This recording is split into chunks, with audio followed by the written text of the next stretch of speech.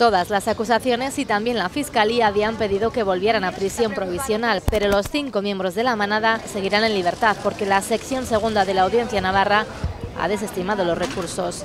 Esta resolución, igual que la del 21 de junio, cuando se permitió su excarcelación bajo fianza, tiene un voto particular en contra, el del presidente del tribunal, que de nuevo discrepa con los otros dos magistrados. Insiste en la gravedad del delito y aboga por la prórroga de la prisión provisional sin fianza hasta la mitad de la pena impuesta, esto es cuatro años y seis meses. Aboga también por la protección integral de la víctima y de su familia y advierte de que las medidas adoptadas pueden resultar ineficaces. Pero los dos magistrados que firman el auto argumentan que no hay aún una condena firme que cumplir y que la prórroga de una prisión provisional no puede perseguir un fin meramente punitivo o de anticipación de la pena, y se refieren al voto particular del presidente del tribunal como una intuición personal.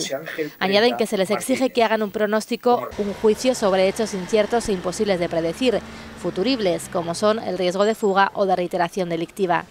Se refieren además al efecto disuasorio que a buen seguro, dicen, habrá producido en los cinco condenados su permanencia en prisión provisional para rebajar el riesgo de reiteración delictiva. Subrayan como plenamente razonable y suficiente la medida que les prohíbe entrar en la Comunidad de Madrid donde vive la denunciante.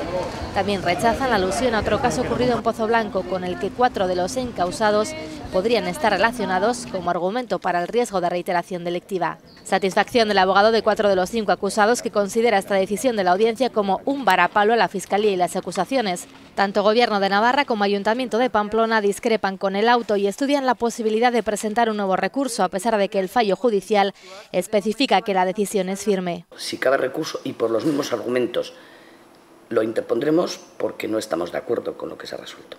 Tras esta resolución, los cinco miembros de la manada deberán seguir compareciendo los lunes, miércoles y viernes en el juzgado de guardia de su localidad.